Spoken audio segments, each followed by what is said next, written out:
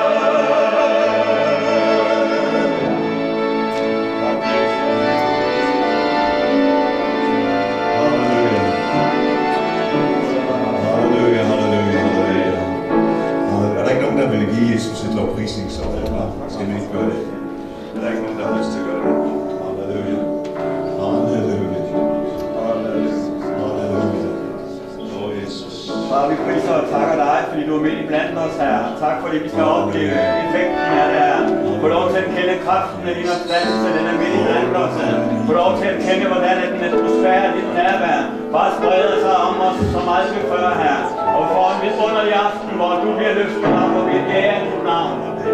Amen. Halleluja. Halleluja. Står vi priser dig, Jesus. Hvad du næste? Så er vi, er vi klar med en. Har du det? Har Bjarne, kan du, kan du. Har jeg virkelig sagt, at det skal være i C?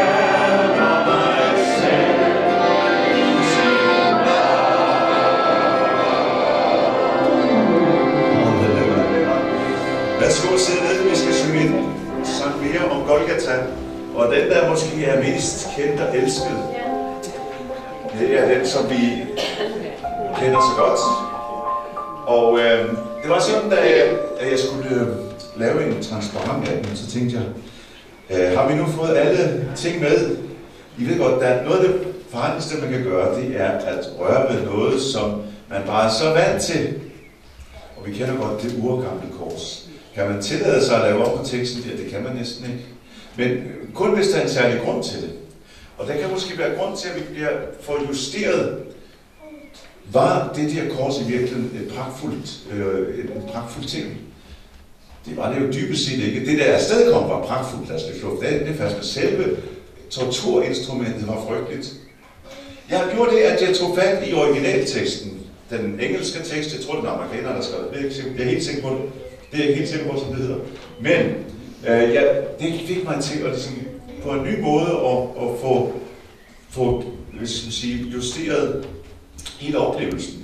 Men det er det, at det Jesus gjorde, det må vi aldrig nogensinde øh, forsøge at, at ændre noget på. Det kan kun gøres mere og mere dyrebart. Det skal vi overhovedet ikke røre ved. Og teksten er forhåbentlig også god. Jeg vil opmuntre jer til at forsøge at udtrykke det der og se, om, om vi ikke må, kommer mindst lige så tæt på øh, øh, beskrivelsen af det, som skete. Og forhåbentlig også synes du, oh ja, det var måske i virkeligheden det, der, der stod. Lad os prøve. Og hvis I synes, det er helt håbløst, så kommer I og fortæller mig det bagefter. Ikke når man går i protesten. okay, godt. Snart efter, hvor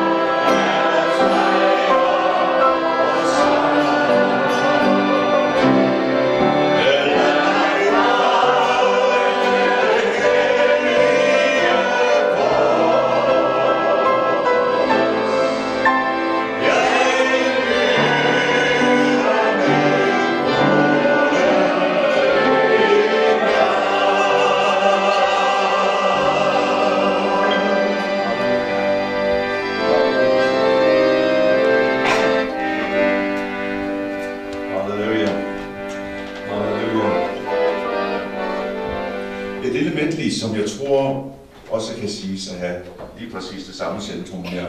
Så